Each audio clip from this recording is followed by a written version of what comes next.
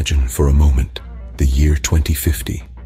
The air is clear, the roads are quiet, and every vehicle zips along without a drop of gasoline in sight.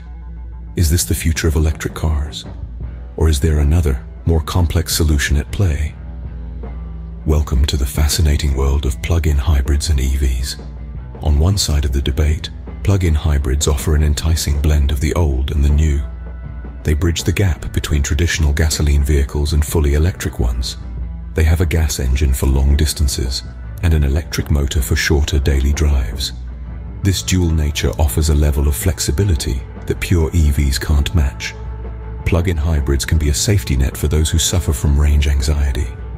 The fear that your electric car will run out of juice before you reach your destination.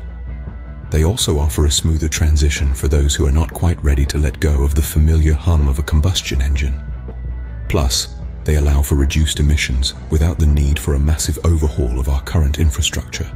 However, plug-in hybrids also have their share of drawbacks. They carry both an electric motor and a gas engine, making them heavier and potentially less efficient than their fully electric counterparts. The presence of a gas engine also means they're not entirely emission-free. Now, let's turn our attention to EVs. Electric cars are the poster child for the future of transportation. They promise zero emissions, quiet operation, and an end to our dependence on oil. They're efficient, increasingly affordable, and with every passing year, their range gets better and better. But EVs aren't without their challenges. Charging infrastructure is still a work in progress, and while range has improved, it's not yet on par with most gas vehicles.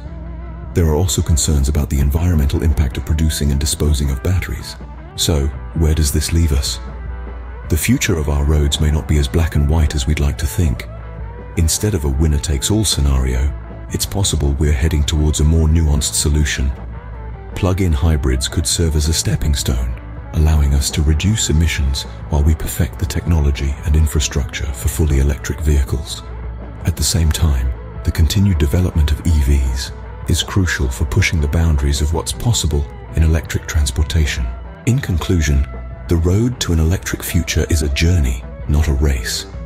It's not about choosing sides between plug-in hybrids and EVs, but understanding the strengths and weaknesses of both. And above all, it's about embracing the progress we've made and looking forward to the innovations yet to come.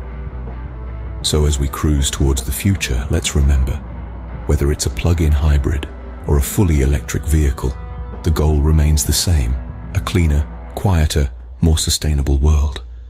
And that's a future worth driving towards.